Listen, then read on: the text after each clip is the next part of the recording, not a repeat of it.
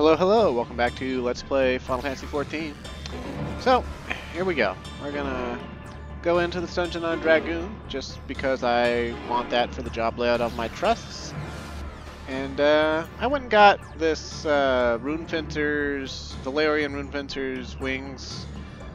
Um, you can't dye them, so... Uh, there's one other wing option in one of the Stormblood dungeons. It's like Farlander's wings or something like that. Which I don't know if I could die, but uh, I don't know. I don't even know if I'm gonna keep these on for the cutscenes. I just want Clyde to have, you know, wings on his head, I guess. And, uh, yep, so they're both flexing, and when you choose to be DPS, Emet-Selch flexes to tank, otherwise he's a black mage. And Venat flexes to healer. Um, if you tank, Venat is still healer, but if you heal, Venat will flex to tank. And uh, you don't. There's there's no way, as far as I know, to see her on her DPS role. But um, Come, let us be off. Let's get this over with. Can scarcely contain my excitement. the um, pe- pe- people looked into the data and then also extrapolated from the, the quest earlier where you sparred with her that her DPS would be Dancer. And Hythlodaeus, uh, you can see he's a bard. They call, they call him a soul seer. And, uh, let's let's get into this dungeon then. Ktisis Hyperboreia.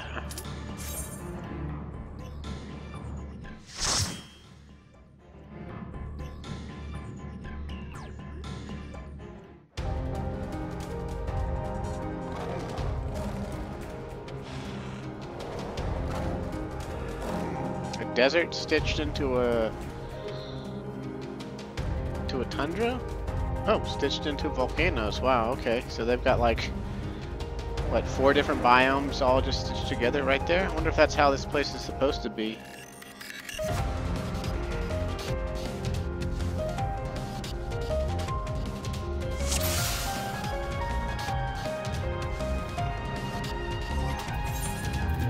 Some food. Check this text from my girlfriend. Okay. Please, turn back, else I might be forced to.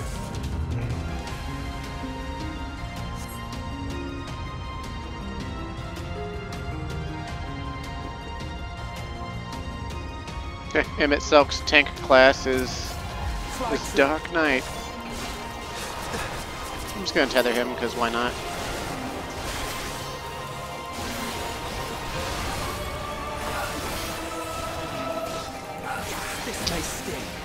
Yeah, as for why I wanted this these job combos, it's just specifically because I find the idea of Venat healing in itself uh, funny. I also find Venat as the healer somewhat appropriate because healers can be quite problematic when they believe that they they actually believe the stipulation that they hold the means of the life and death of everyone in the party in their hands. And you know that they're the most important person in the party and whatnot. Which is true in like savage content sort of. But like you know there's like some dark truths to this game where uh, healers barely matter in like dungeon content and or if you bring like all tanks stuff like that so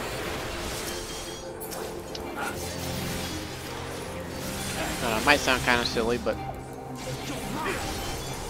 you also notice that they're making use of abilities that we as players lost at some point like Venat has put stone skin on the entire party and that's something players used to be able to do and now can no longer do.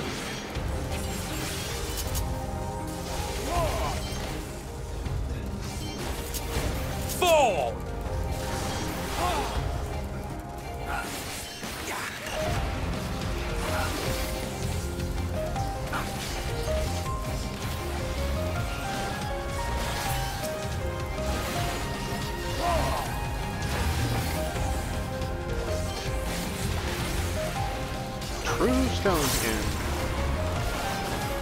I'm not entirely useless.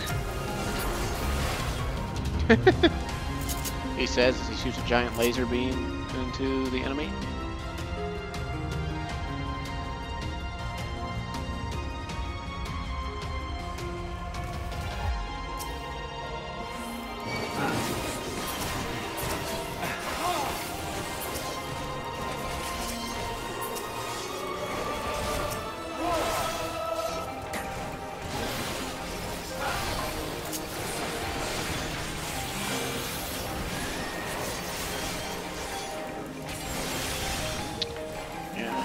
Some of these creatures, you know, are very reminiscent of stuff we've seen in the modern day, and I guess what you're supposed to extrapolate. And if we'd done the side quest, you would, you would already have extrapolated this. That all of these creatures that the ancients created uh, lived into the modern era. They were approved as concepts, and then got to live in the world and, and become real animals.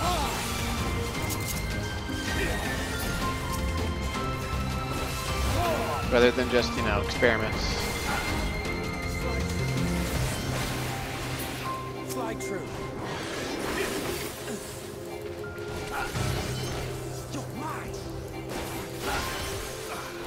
But it's also kind of funny to me that, like, I don't know, people judge the ancients like they're some sort of horrible monsters because they experiment on animals that they themselves make with their own life energies. And then, like, but in like real life, you know, we, we, we test on animals that, you know, we have no way of, you know, making or healing from the unexpected side effects, like the drugs and things we test on them. You know, whereas like, if the ancients create something that's suffering, they can at least put it out of its misery, uh, and perhaps remake it and give it a better life the next go around.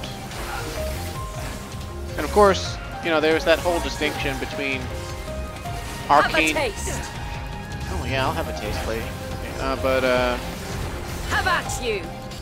man, she's getting all vocal. She just want to Fall! talk here.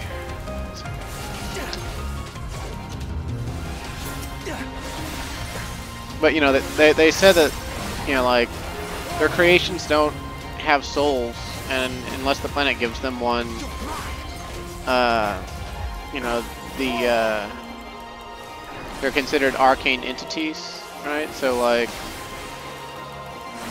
a lot of the stuff they create, you know, it's literally just like a meat puppet. It's not even like like it verifiably does not have a soul. So like they're not, they're not really killing anything that's alive.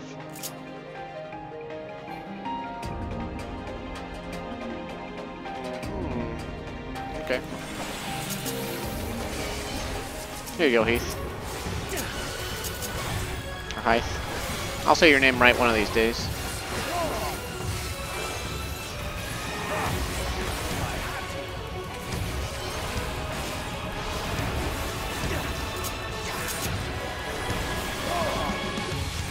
Frostbite and Seek, huh? Okay, so he does like foot footsteps or whatever, and then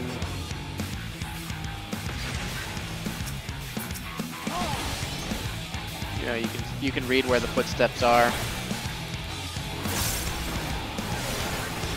And we just got to see that the ancients were capable of the Ascian teleport uh, even before Zodiark. So that's not Zodiark power.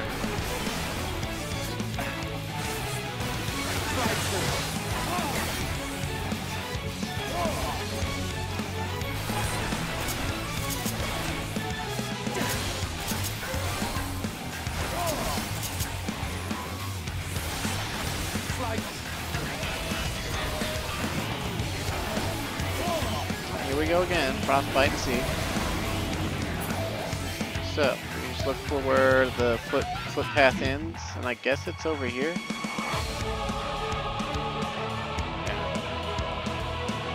Haha, but nah, you're slow. You're slow on the uptick.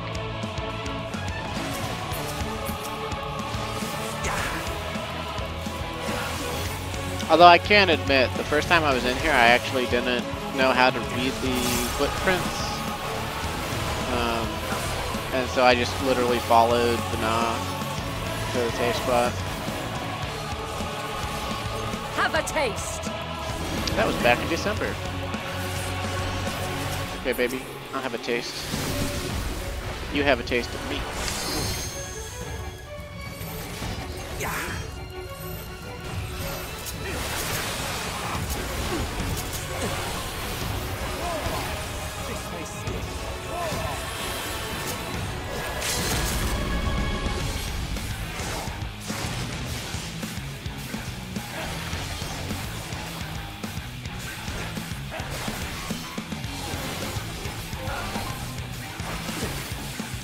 Getting one more frostbite and Seekoff. Okay, so we got this loop around and the footprints. They end here, so.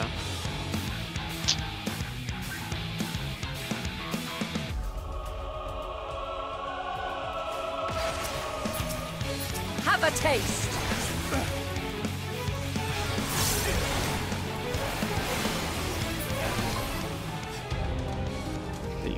Peace in the ethereal sea.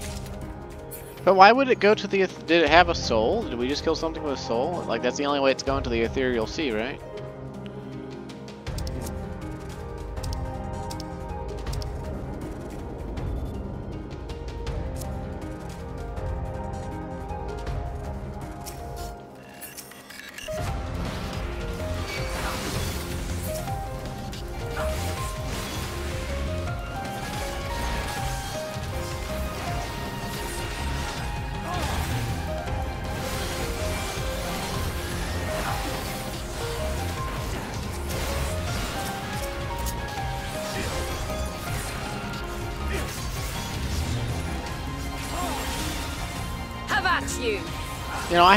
Potencies in a long time, and they altered potency significantly in in Walker for every job. So I don't even know if I'm supposed to be AOEing at three targets. I'm pretty sure that that was always the I see standard. you, Oblivion. And the reason they altered it was because they, in Shadowbringers, they actually mistakenly made a lot of the AoEs so strong that you use them on two targets, which dungeons even more boring than they already were uh, in regards to like what you do rotationally on the quote-unquote trash monsters. I'm you. Stay away!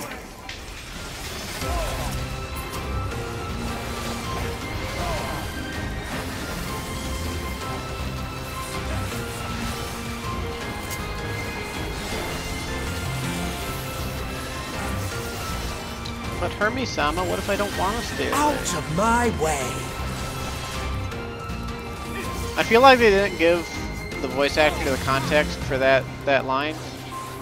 Like he sounds all light and airy, like it's no big deal.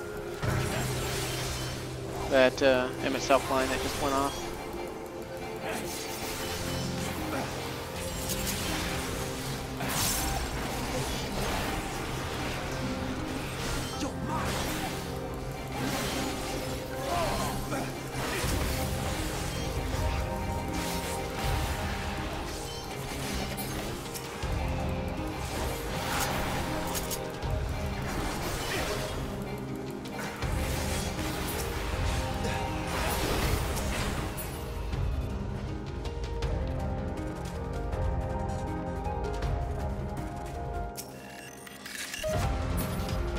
I also find it funny that the treasure boxes in here just look like basic bitch boxes. Also, have I been missing? Like, I, I just see that, you see that glowing stuff? Have, have I missed one of those? Let's uh, look back for a second. See, they tell you about the creations. Stuff.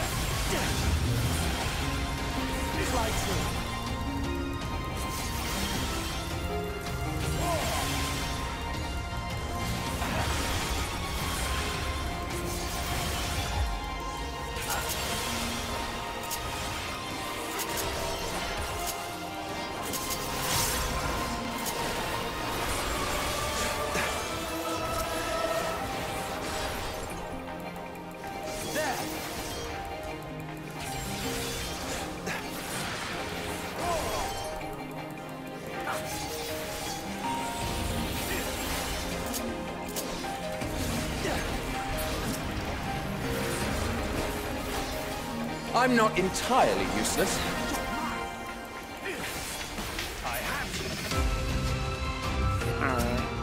Let's read this one and then see if I missed one. Go back real quick. Observation Journal. According to Mistress Lisa, Lisa or Lisa? I'm gonna go with Lisa because there's two S's. Um, her creation is based on the concept for a bipedal wolf, and indeed it is impressively man-like in its gait. It is also highly intelligent, as is evidenced by its ability to employ tools, while the gleam in its eyes gives the impression that it comprehends our words. Comprehends our words. If this proves to be the case, it would be a shame that its throat isn't designed for speech. I must make mention of this in the next report.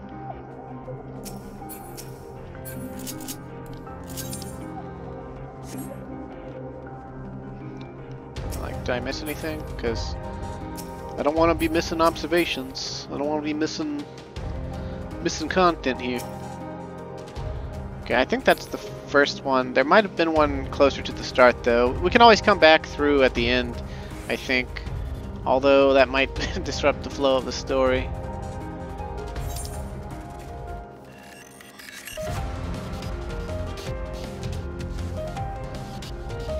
Yeah, they showed this place, like this room and the trailers for Endwalker, and the speculation for months was that this was like what was in the basement underneath Sharlayan. And uh, no one in the right mind thought we were going back in time. He may have his flaws, but you can't fault his managerial prowess. Seriously, you want to discuss his candidacy now?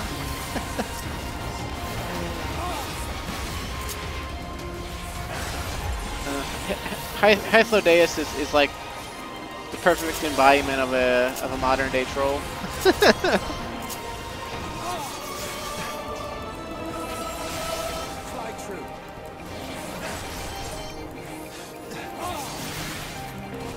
I'm not entirely useless.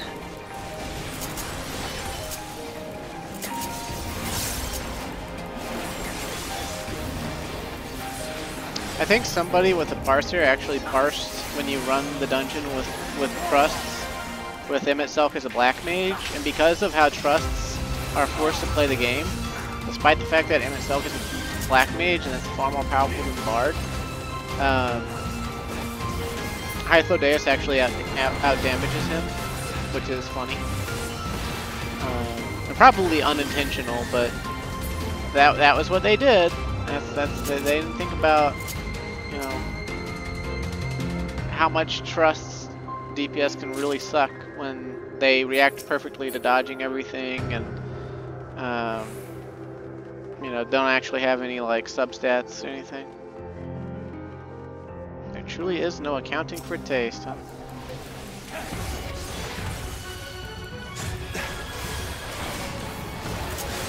Four!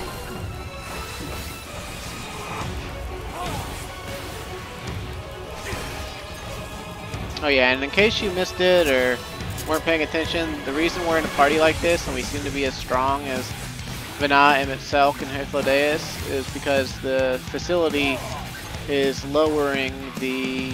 Um, it has an enfeeblement in place that lowers all non-staff members Out uh, of my way! Have a their, taste. their power.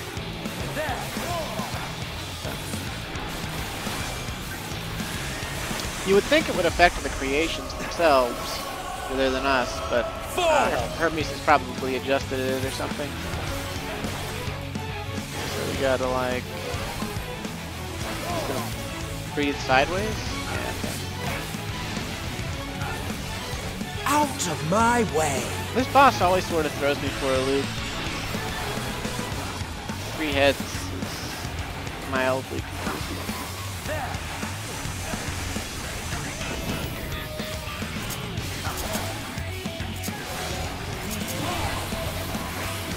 I see you opening. This may stick.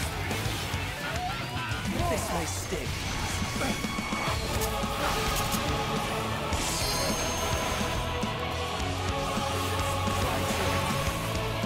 Still love this freaking music though.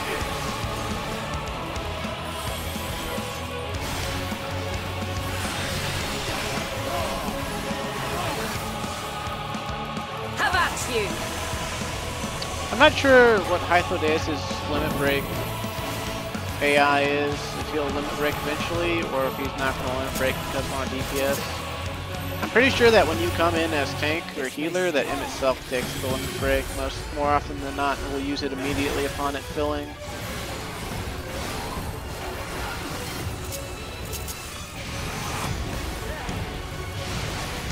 I see you opening. Probably just use it in a second here after I rebuff my attack bonus and dot.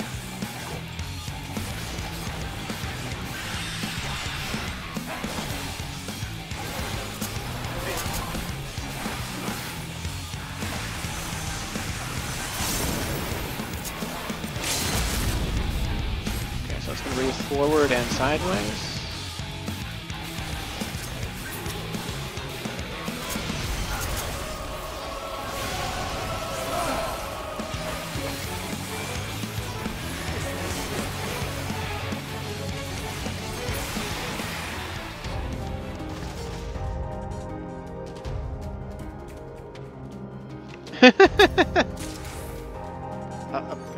Got some some Mimi gloves. How about that? Oh, this is the uh, Ascian set that you could get back in Heroes, uh, Heroes Gauntlet or whatever in in Shadowbringers. Makes sense. We're basically in Ascian times. I cannot let you take Meteion. Not yet. I mean, you could just come along with her, dude. I don't get why you're so upset.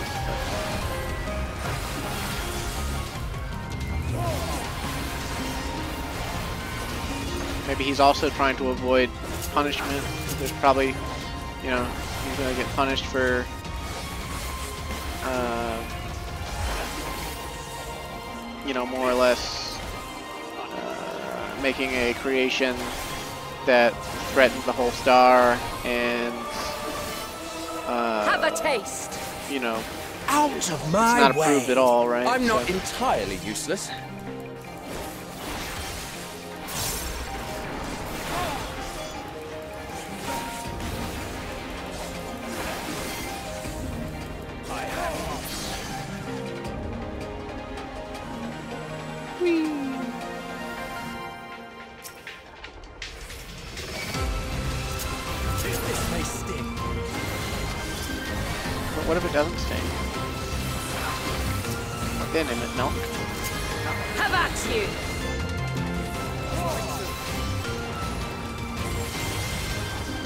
I'll be able to AoE and align one one of these days. I see you opening.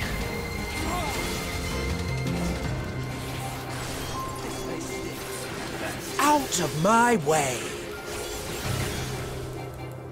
I'm not entirely useless.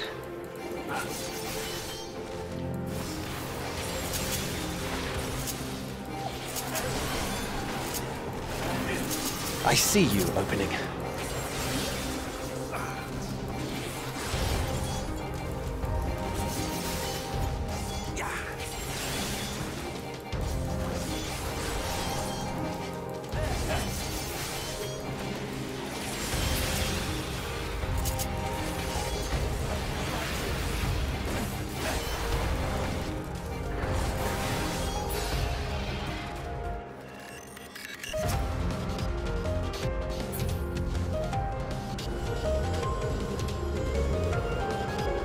Whee! I can't even see myself. Oh hey, more uh, more stuff to read. must hear their answers before they're expunged from existence.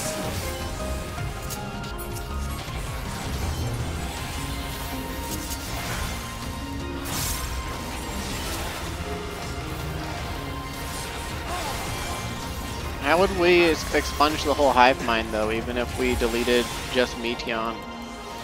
Like the, the one Metea that he has with him right now that's giving the answers that we want to hear. Out of my way.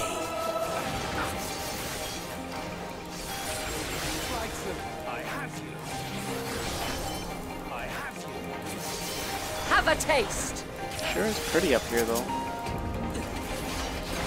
It reminds me of pictures I've seen of like um, those crazy jumps that people do with like the the first spacesuits and stuff, where like you I see you opening. use a balloon to levitate a platform to, to like to the stratosphere, and then um, I see you opening. you jump off with you know with a couple of parachutes or whatever it is, and whenever you get low enough, you you know you Have open a your parachute and you're fine. This is the way terminal velocity works, and the fact that opened at the right time with enough leeway, a parachute will still slow you down enough to you know save your life and whatnot. Out of my way!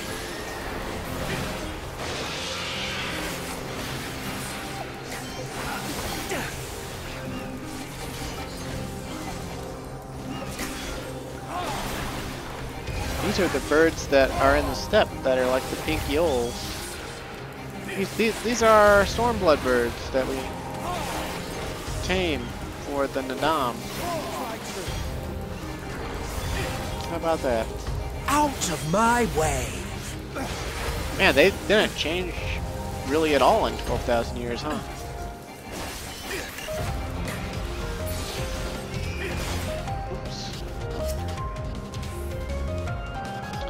Flying life forms, introduction. The successful creation of migratory birds which travel between continents with the seasons came as a breath of fresh air to the long and stagnant realm of flying life forms. In the end, it was a relatively simple thing to grant creatures the ability to navigate by celestial bodies, but this method lacked the precision needed to guide them to the same location each time, as would be vital to their survival. Breakthrough came in the form of magnetic fields, the use of which was discovered by the incumbent Fandaniel during his tenure as chief overseer of Elpis. A truly inspired idea that has brought lasting benefits to the star. Huh, Etheirys confirmed to have magnetic poles, just like Earth. That's how birds work in real life. Oh snap, here we go. We're here.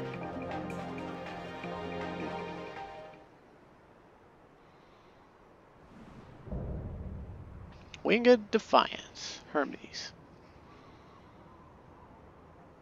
So, it comes to this. I've no wish to fight, but this time, I cannot yield. Though the world may think me a mad, desperate fool, I will hold fast to my conviction. Your conviction to hear bad news. Roger that, insane man.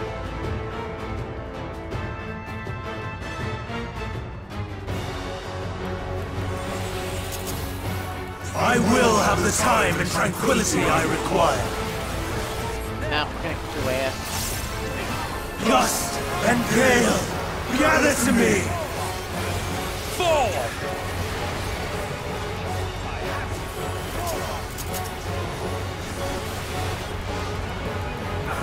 Ancient brand, unleash your power! Uh, they just, just like stay out of the way. Yeah, okay. Not too hard. Dancing winds! I'm not entirely Here's my foe! Hythlodaeus, don't speak at the same time as Hermes. You're ruining his voice lines. Stars on high! All is rain!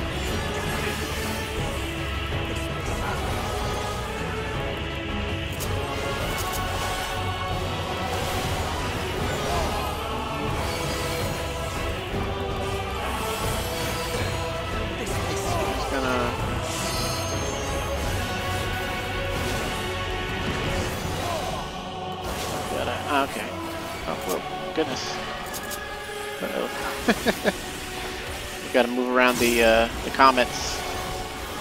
I'm not entirely useless. I didn't read it right. I see you opening.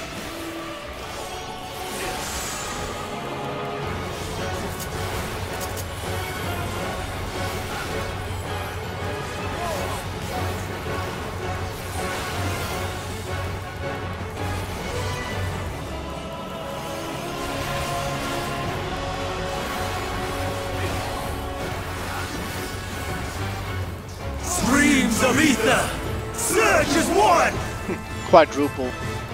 You remember how uh, when we fought Nabriales, he did double and triple? I'm not entirely useless. Okay, so basically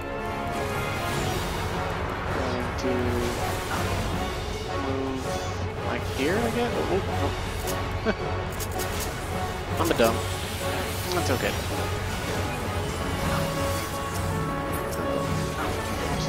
Fly true. I did my move in the wrong order. Kill me, please, for now. Make up for my blunders, please. Thank you. Dancing winds! Here's my foes! It's been forever since I've done this dungeon. I did not level all my jobs on my main character. I had pretty much put Endwalker down for like, other than raiding, for like, since like January. The story bothered me a lot, and there just wasn't anything that I cared to be doing.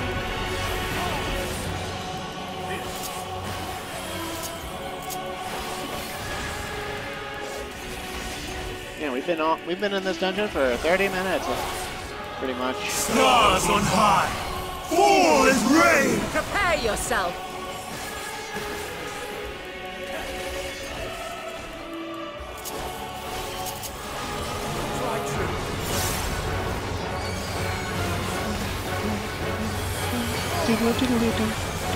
Even when transformed. But I am not finished yet.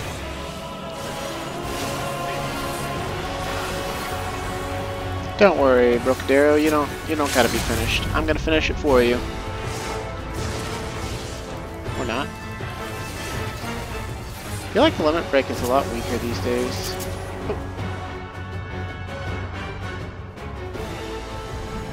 No!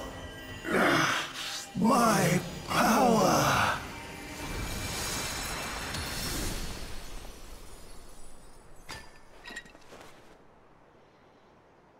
Hmm.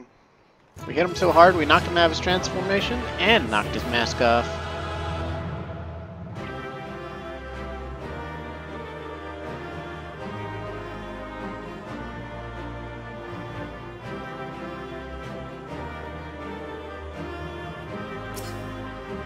Say anything cool?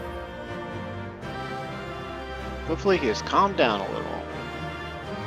merry Chase he led us on. For now, let us leave the rest to Emet-Selch. Really? You're just gonna get lazy all of a sudden? Why? Oh, we got the minion. Caduceus. Won't spit acid at you, so rest easy. We check that out, we, uh, get to see that one of Hermes' pet creations, this intelligent serpent, served as a message bearer in Elpis. Perhaps due to his inherited memories, Amon would bestow the selfsame name upon another serpentine creation, which he dispatched to guard Dalamud. First boss in Binding Coil Bahamut. Referenced in a minion. Uh, what? Nine years later? Like, Jesus.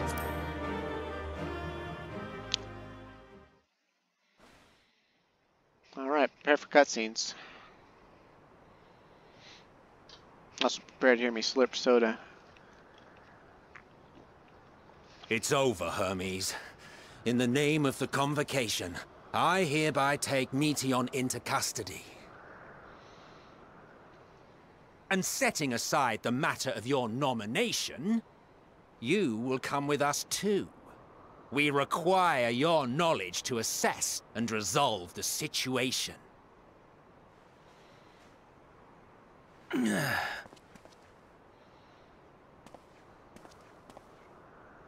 Meteion. I am so sorry. That I could have listened to your report in full. Reflected upon its meaning and conveyed it to others. That they might reconsider their chosen course. If you even interpret it correctly. But I have failed. And that wish will never be realized. However, ere our fates become the province of others, I bid you tell me just one thing. Was there happiness in those distant stars? Was there a reason for living?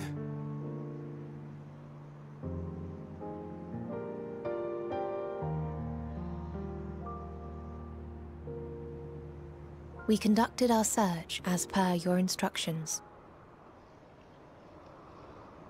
We scoured historical records, communed with the spirits of the deceased, heard the final testaments of the dying, welcomed their shadowed hearts into our own. One race had striven to create a world bereft of animosity.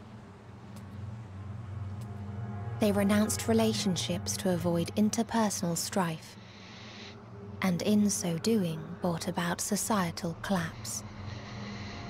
One race had renounced war and devoted itself to the enrichment of its people. They were conquered. Though they destroyed the enemy in reprisal, they could not regain their former glory. One race had concluded that finite time was the root of all woes. Aspiring to shatter its shackles, they went in search of infinity. They discovered nothing is infinite, and that neither time or death can be cheated. Disillusioned, they gave up on the future and themselves. One race had discarded all things that gave rise to sorrow hoping to have only joy. They found joy lost its savour in the absence of sorrow, and lost their will to live. Though worlds apart, these peoples shared a belief. The belief that they had tried their best. that they had tried to fulfill their potential with every step and success. In the course of which, they learned the truth. Man, she'd be looking like a humanity sprite from... That they would never be free of fear and sorrow, anger and despair, of loneliness, so long as they yet lived. Even now their souls cry out for oblivion. And to this song of anguish, I lend my voice. We lend our voice.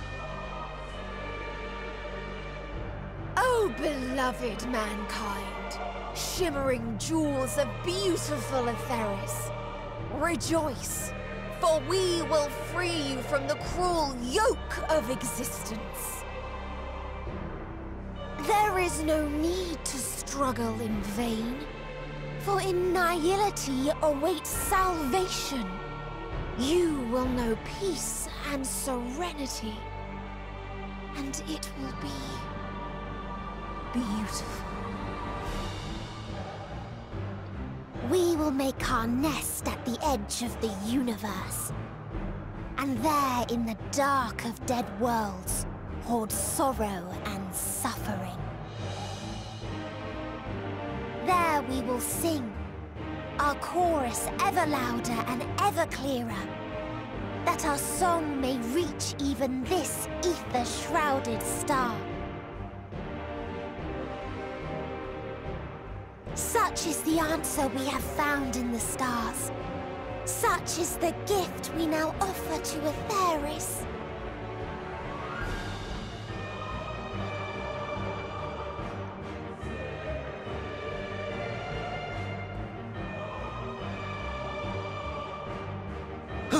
you to decide our fate, to decree we live or die.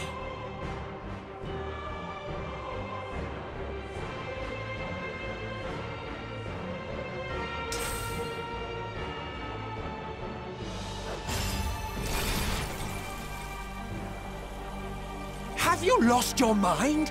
You heard what she said. She means to destroy us all, yet you'd still take her side? In the name of the Star, we have discarded those creations that we deemed flawed.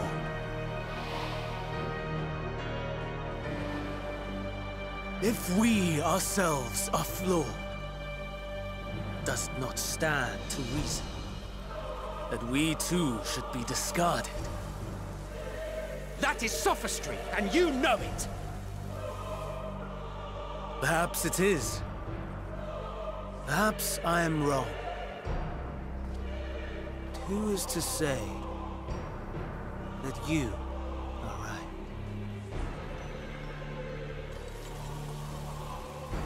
Let us settle this with a determination.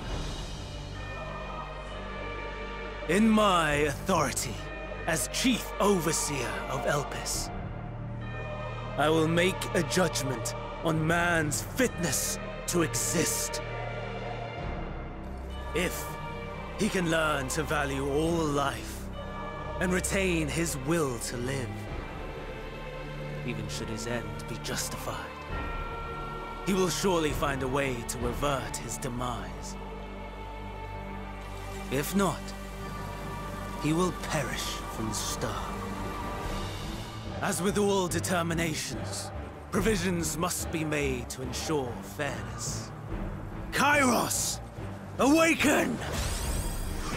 I wish I could, like, that the dialogue wasn't advancing automatically so I could respond in scene. Memory reconfiguration system Kairos activated. Awaiting instruction. Command.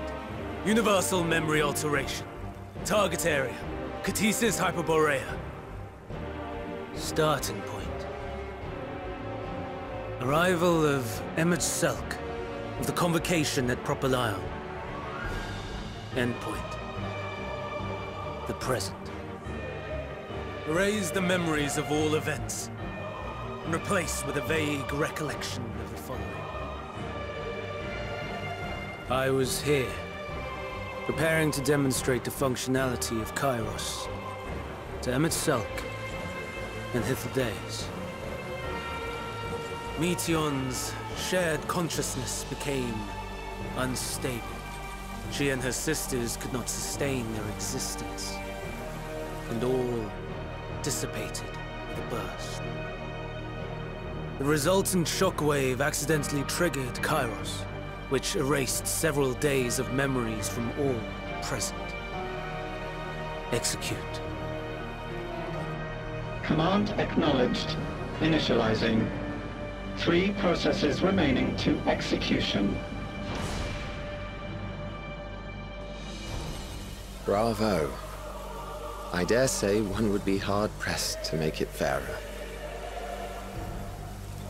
Everything that you told us, everything that has happened, the fact we've even met, it will all be gone.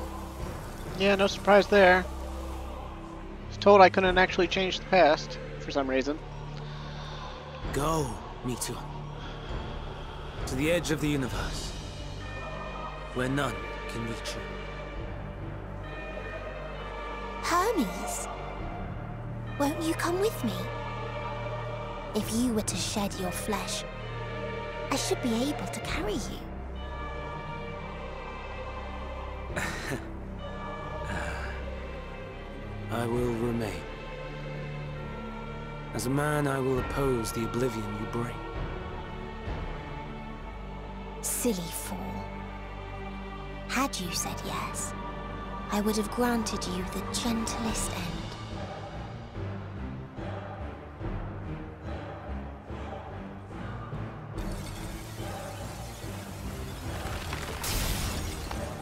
This ends here! Maybe break our chains first? Fly, Meteion!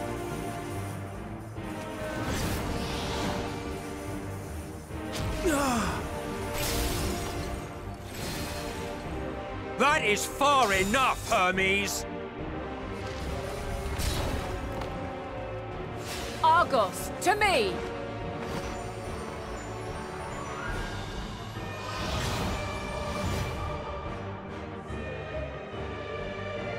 First process complete. Two remaining to execution of memory reconfiguration. As if we needed more pressure. No matter what, you cannot forget what happened today. For it is the key to saving your future. Your world. This fight is our fight. What comes after, our problem to contend with, not yours. No. Your own struggle awaits, and no one else can take your place. You must flee this place with your memories intact, and I will see that you do. Now then, where is it? There you are, my little confluence.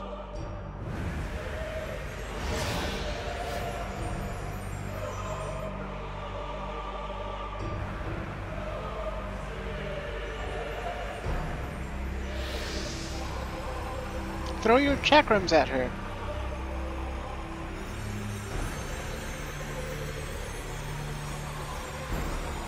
Or, or that.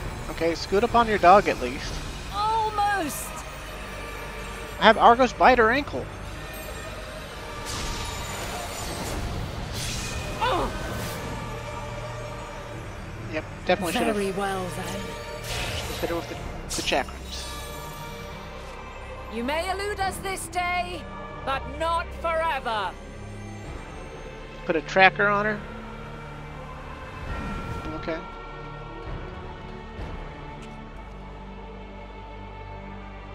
I Suppose even if she did take her out, Meteion's gotten away. the rest of the hive mind would still be out there. Second process complete. One remaining to execution. Ugh. No time for brooding. Listen well. Beyond lies a spatial confluence that connects the interior sections of this building. I will destroy the confluence and force open a way outside. When I do, you must jump through. We're technically still within the pocket dimension of the building I house. cannot tell you how sorry I am, How is Meteion getting out?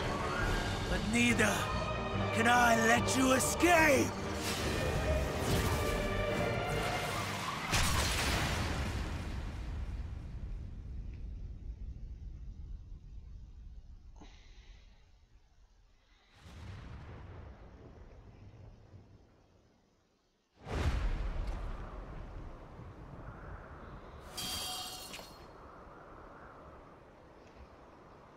Too brave by half.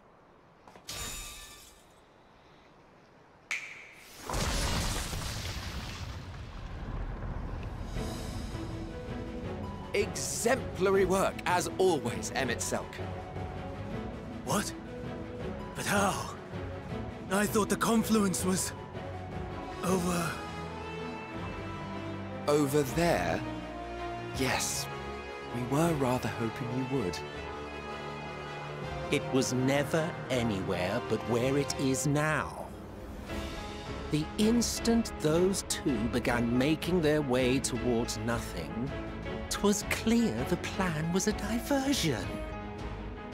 I'm quite incapable of destroying a confluence, I must confess. A gambit brazen beyond words.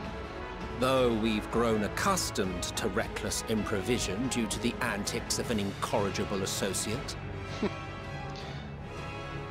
Man, Though, in the case of certain present company, incorrigible is an understatement. Honestly, I'm beginning to suspect it's a requirement for every Azem. oh, Hydaelyn saved us with the dog. Or now, rather.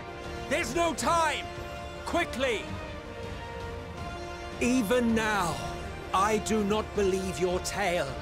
I would not suffer us to walk such a wretched path. Still, if it must be said, do not squander it. The legacy I leave you. Dude, why are you just standing around with your thumb up your ass? Just summon your Grani mount that lets you fly and grab Hythlodaeus and Final get, process complete. Executing universal memory alteration. at least try to get the fuck out of here.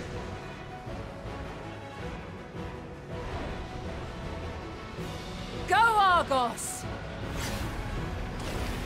And Venat gets out. Hmm. Why does Venat get to get out? That's not good.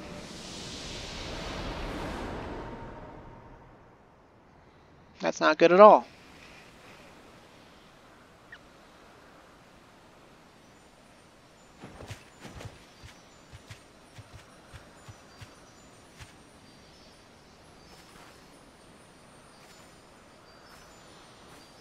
Time for plot holes.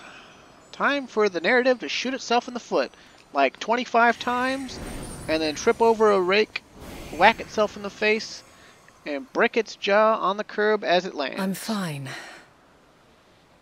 Just a little tired. Mm, but why would you be tired out here? Uh, the enfeebling spell is gone now that we're outside. Can it be true? Are we the only ones left who see beauty in the world? In life? You're talking about on a universal perspective, I guess? Are the stars above no more than husks of fallen civilizations? Well, how many Matea did he send out, right? Like, as rare as life could be. I mean, we haven't found any in the real world, obviously, because we don't we don't have the ability for deep spacefaring. But um,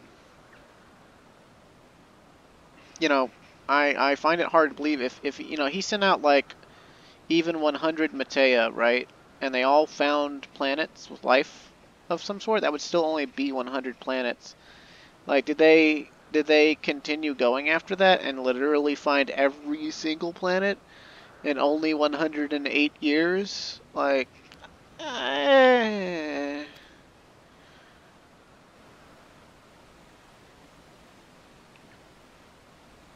And was she even actually giving us an, ac- an accurate portrayal of what she found, or did the fact that Hermes gave her a flawed premise to work with cause her to fall down the dark path, you know, whenever she found something that was bad, right? And did she, when when she found when part of the hive mind started going dark, did it contaminate the rest of the hive mind as they found planets that maybe weren't dark, and maybe cause those planets to fall? You know, by by presenting such darkness to them. I feel her. Though she is unimaginably distant, I feel Meteion's presence. And the place where to we must go. Ere she made good her escape, I placed an enchantment upon her. One which allows us to follow her trail. She has already left the outermost bounds of Etheirys, and continues on her way, Given the vastness of the universe, it will still be no easy feat to track her down.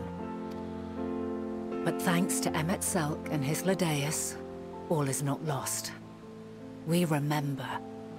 They'd remember too if they monologued a little bit less and got on Grani and flew out with us like they could have. So long as we remember, our fates remain ours to shape. Or you know, it- maybe if we had restrained Hermes instead of fucking standing there and let him, you know, whine to Meteion and pull out his staff again and all that shit. We literally all came down with a sudden case of scriptwriter says stand around with your thumb up your ass and do absolutely nothing.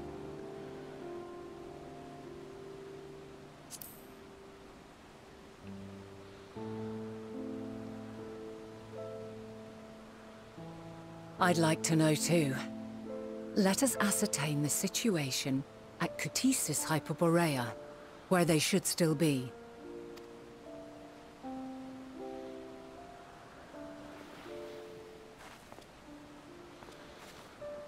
Given the likely state of their memories, however, it would be imprudent for us to approach them directly. In which case...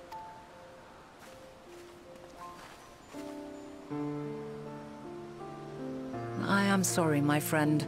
I've asked much of you this day. But may I trouble you one last time?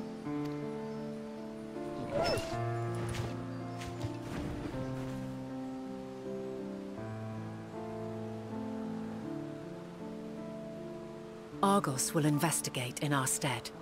We will share in his consciousness and see and hear as if we were with him. Now, close your eyes and open your mind.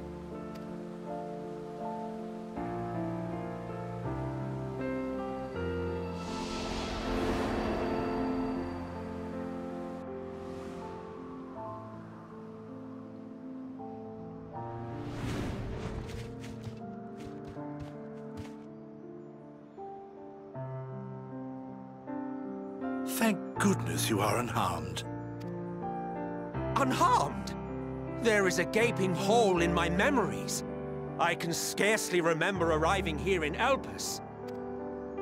Forgive me. I was preparing to demonstrate the functionality of Kairos to our guests. But Meteion, her shared consciousness became unstable. And she... she... So, that's what prompted the state of alert. And when you went to investigate, you were caught in Kairos's accidental operation. So it would seem. It's all a blur to me. Such an unfortunate accident. Oh, and what of Venat and your other companion? You went inside together, as I recall. We did? If Venat was with us, I have no recollection of it. But that there is her familiar, is it not? The fellow seems happy enough, so I think it's safe to assume his mistress is well.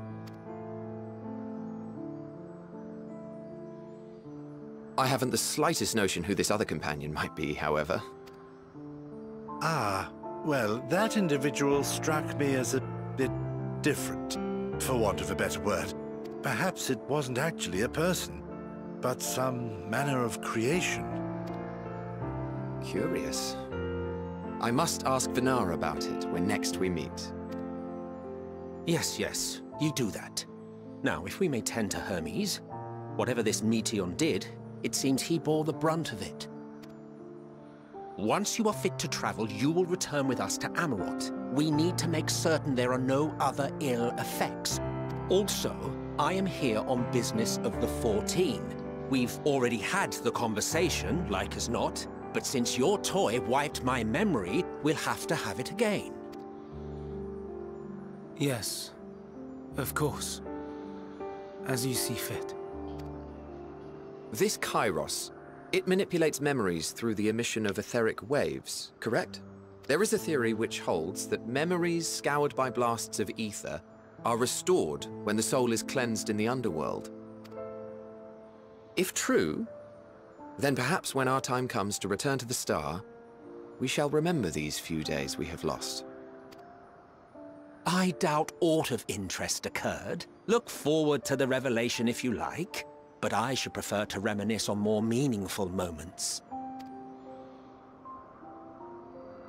And that is irony. But I mean, Let us rest. If only for a while. Venat has her memory intact. And remember a couple of cutscenes back, or a few cutscenes back, when we looked with the Echo that she can consciously control, as can almost all ancients, to see the past. And she's told us that there was two ways to do that, to use that power. You could glean information from the ethereal marks left on the environment, but you could also peer into the soul of an individual while they're recalling a memory. She could literally go right now and give Emet-Selch and Hythlodaeus their memory of what transpired for the last two or three days back, or at least enough uh, from from the time that we met her in Elpis back. She could give them part of what was erased back, and they could learn everything using the Echo. Which they all have. After all, you and I... Oh, we still have a long, long way to go. Long way go to go to where?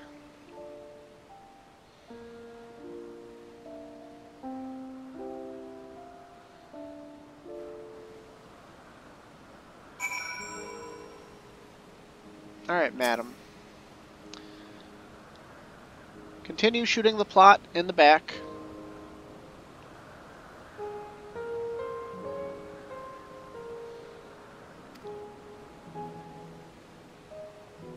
It is unlikely he will create more Entelechies.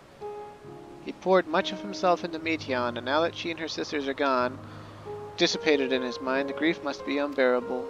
He will blame himself. He will believe that, had he never acknowledged his dissatisfaction with the world, Meteion would have never been born to suffer and die. The offer to join the 14 will be a welcome distraction, and one day hence he will face the advent of the final days in the role of Fandaniel.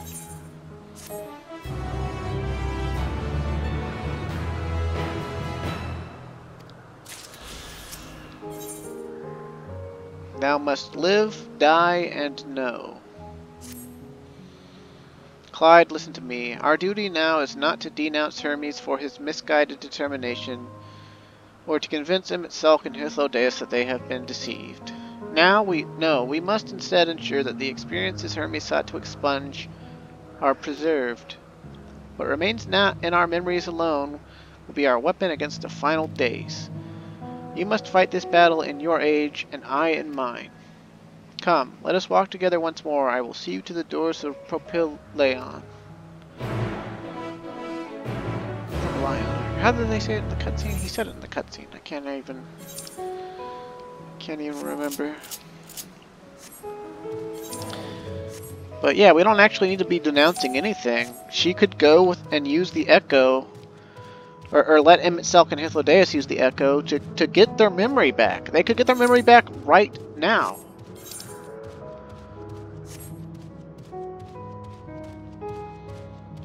And she wouldn't have to work alone.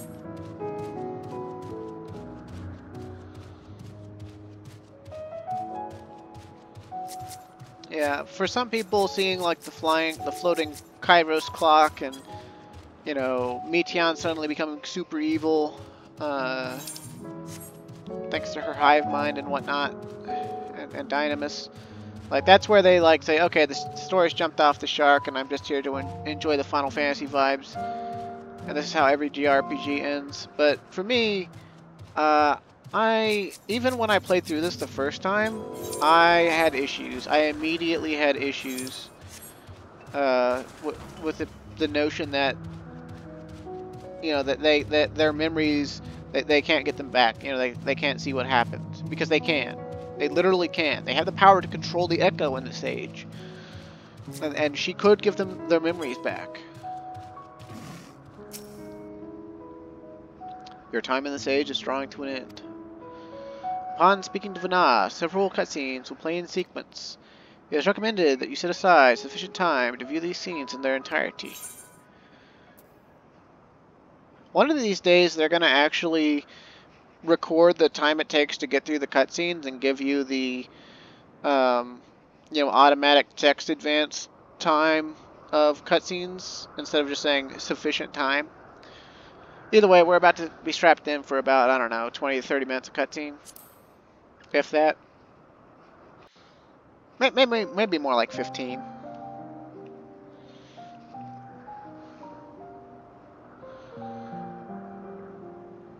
So, it is within.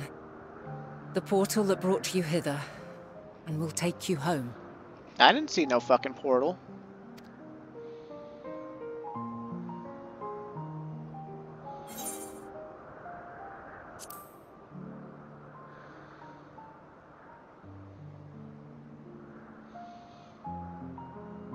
May you and yours emerge triumphant. Make use of the knowledge you have gained, that your days in Elpis and our friend's sacrifice be not in vain. wasn't really a sacrifice. It was more like them consciously standing there with their thumbs up their ass. With Meteion free to pursue her designs, tis only a matter of time until the final days are upon us. We must be ready. From fortifying our defenses to securing our escape, there is much to be done. In spite of this, we cannot allow the report that set this calamity in motion to become common knowledge. Were the masses to learn the fates of the other stars, I fear the situation would spiral out of our control. I must carefully consider who can be trusted, and bring them into the fold.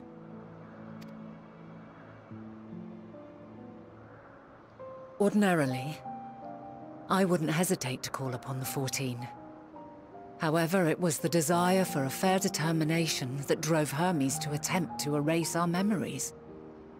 Were he made aware of his actions, there is no telling whether he would remain a friend or become a foe.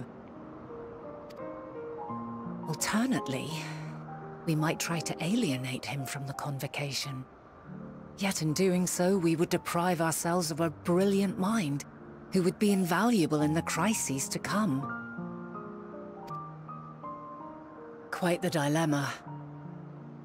Which is why I must work independently of the convocation. You really don't have to. They don't even work together all the time. You could see which ones are, you know, trustworthy and start with fucking Emet-Selch because you could give him his memory back and then you know, you could explain to him your feelings on the matter, and to not tell, you know, not tell Hermes until after he's helped make Zodiark. Regardless of how we proceed, if we are to permanently avert the final days, we must be equal to Hermes' challenge. We must prove that mankind is worthy to exist. Honey, there is no way that an individual or even a duo can prove that for an entire race or species. An exceptional individual, like, this is absolute fucking madness. And this hinges, I think, on how we confront the all-consuming despair that accompanies a senseless and seemingly inevitable end.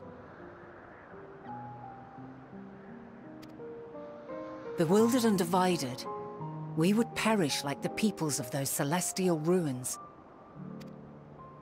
We could not hope to survive the final days, much less take the battle to Meteion at her nest. We must find a way to defeat despair, to unite and prepare as many as possible for the struggle ahead.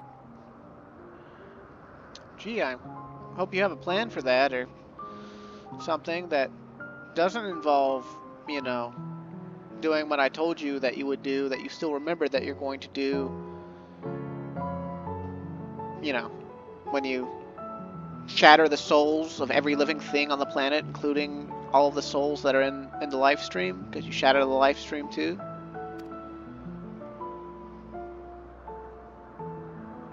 Heavy will weigh the burden of guiding this legion of souls. Yet I have faith in mankind's potential. As long as he believes in himself, there is naught he cannot achieve. So I will not give up on him. On us. You may find your world to be very different. Or perhaps the erasure of our friend's memories has sown the seeds of a conjunction between us. We cannot know until the moment is at hand. So shall I strive to do my best, taking naught for granted as I walk my path.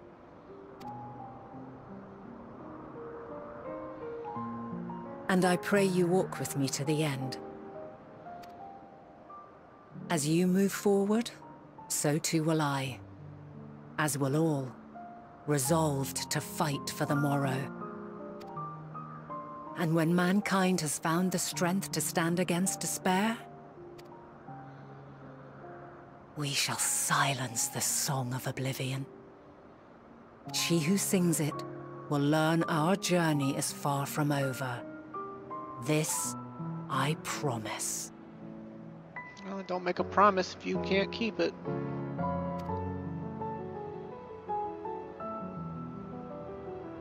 Fare you well, my light of the future. Till we meet again.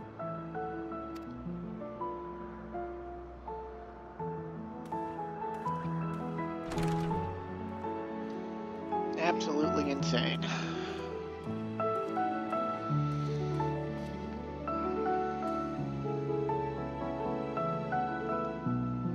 Pretty hot though, and does anal.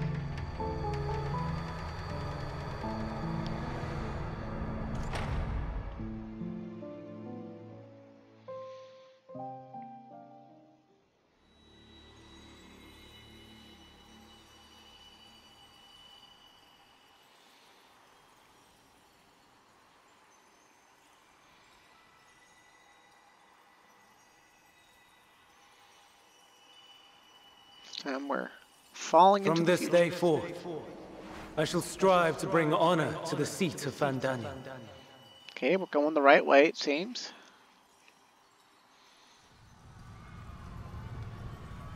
Oh, there's the final days.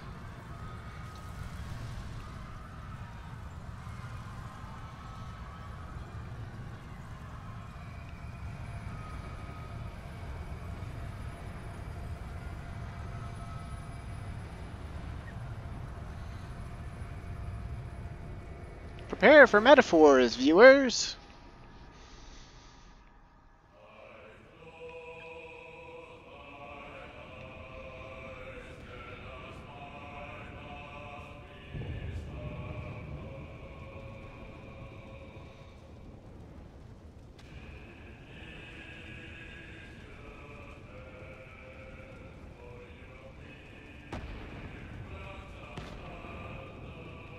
Even now, I remember standing there, locked in a moment where the sky is aflame.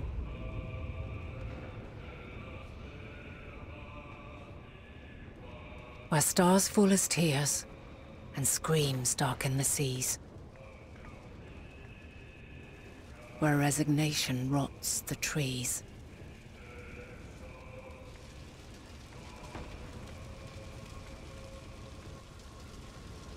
Where terror twists magics into abominations.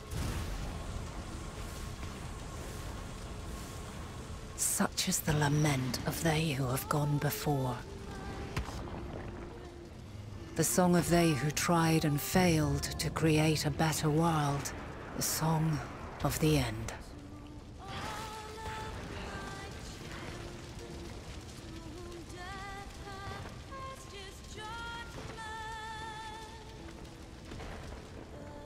Which hides at the edge of the universe is no longer Hope's creation.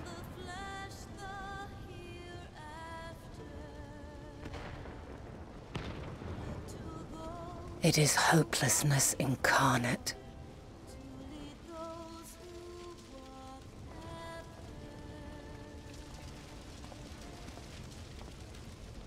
That day, mankind saw half of its number sacrificed to bring forth Zodiark.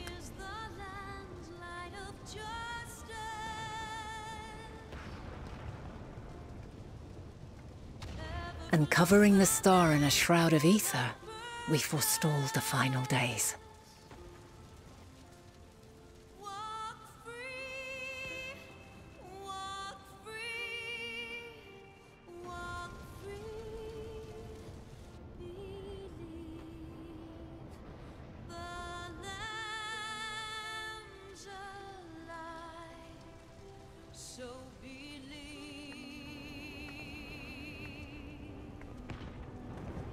The cries echoed still. We wept for innocence lost, wailed for death inevitable.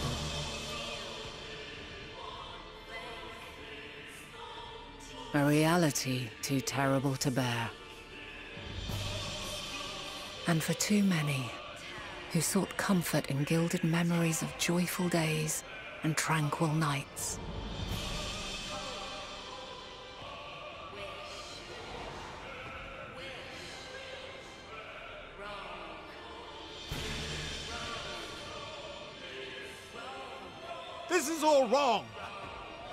Must we suffer so?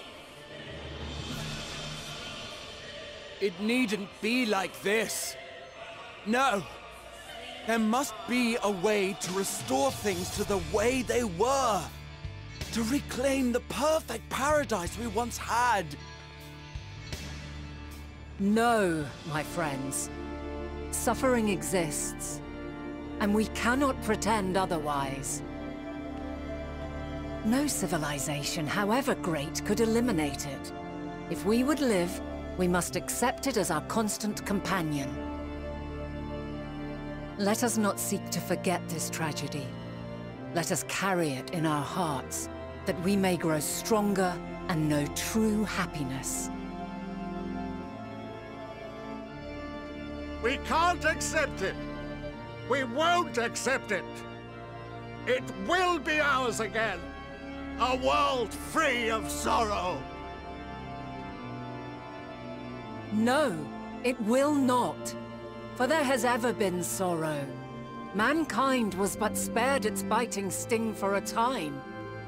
So please, open your eyes. To try and reclaim those lives we lost by sacrificing yet more isn't wisdom. It is weakness. No paradise is without its shadows. If we cannot accept this truth and learn from our pain, then our plight shall be repeated.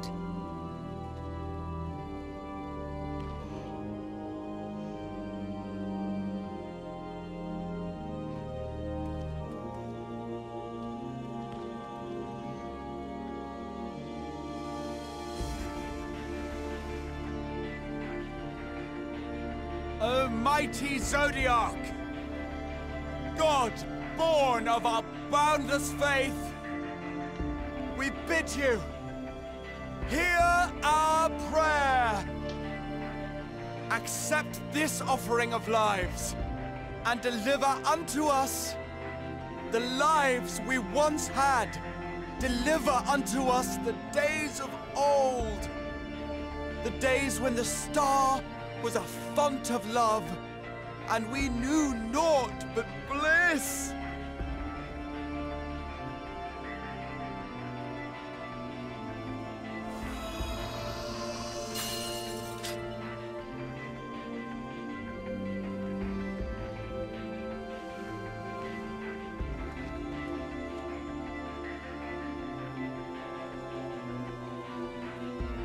You would destroy it?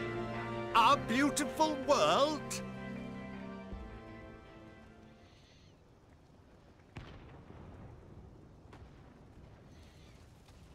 Lands that stretched on forever. Skies one could drown in. The heartbeat of nature, silent yet strong. And amidst it all, a people. Beacons of light and life. Laughter that warmed my heart like naught else before. They are my meaning and my purpose. My love. In spite of, or perhaps because of this, I choose to believe in mankind's potential, in his ability to find a way forward. So let there be no way back. From that temptation, I sunder us. No more shall man have wings to bear him to paradise. Henceforth, he shall walk. Crazy bitch! So, not only is this whole scene metaphorical, but like, her reasoning, you know, she basically offered them nothing. she walked up to people who had literally created God and said, "Oh, nah, man, you gotta suffer. You totally aren't capable of everything." And then, like, said, "Nah, man is capable of everything, and that's why I gotta kill his god and destroy his world and shatter his souls." And whew. All is excruciating pain. I breathe fire and torment.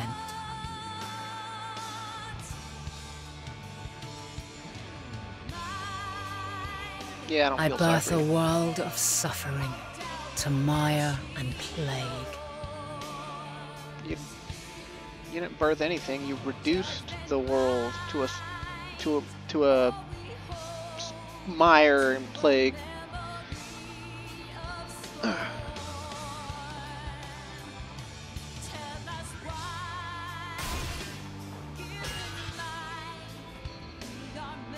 No, it's it's hurting her too.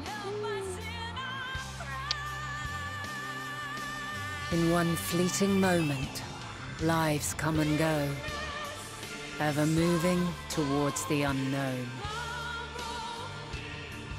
And in that fleeting moment, they cry for the answer to the question. Why, given life, are they meant to suffer, to die?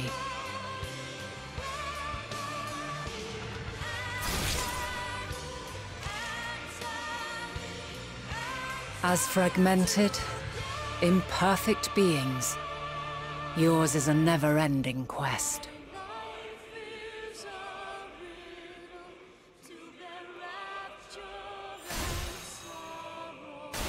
Quest to find your purpose, knowing your end is assured.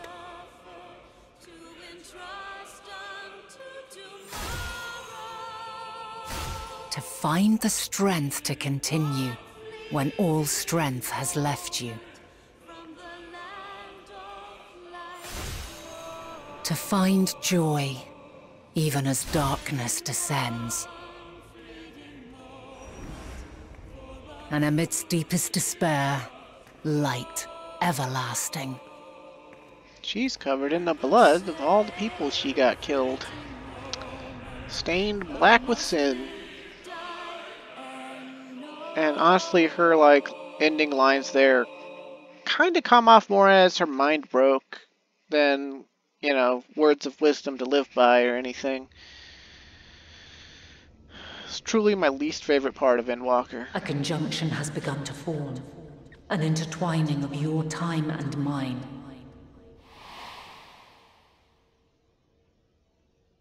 When you truly understand what is at stake, and your journey has prepared you to surmount the insurmountable, then shall I honor the promise made in another time, another age.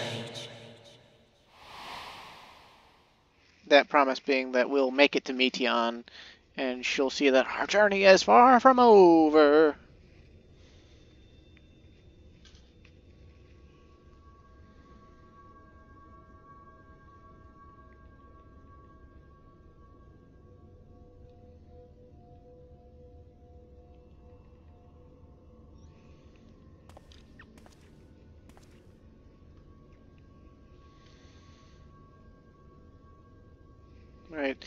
I, I, I don't know if I would have had as much trouble with it if they had actually showed us the real events of the Sundering, because that wasn't an actual memory. That was like the way that Venat was choosing to remember it in her own mind. That that was all like super metaphorical gobbledygook. And uh, I mean, it was cool, right? It's a cool scene, and if you really like her and you're not thinking too hard about this, you know, she's uh, virtuous woman holds up sword and says cool shit and uh, you know all that but then you actually stop to think about it. She incited a civil war and destroyed her own people destroyed the entire world and reduced it from what it you know like from the splendor it once had, you know, the, the capability of making a god, to, uh, you know, to what it currently is, which, you know, isn't like ridiculously bad, right? But that's because we've had 12,000 years to grow out of the hole she put us into. You know, it's not because she did the right thing. So, like, yeah, it's it's pretty fucked up. Uh, and what's even worse is because she didn't lose her memories, she did all of that knowing that she was going to do it. And, like, we don't see her try any other ways. We don't see her, like, think things through or use the Echo to restore memories to, to uh, Hythlodaeus and Emet-Selch. You know, she doesn't... We don't see her try anything else. She just straight up loses all of her agency as a character and, you know, commits this atrocious genocidal act. And we're part and party to it.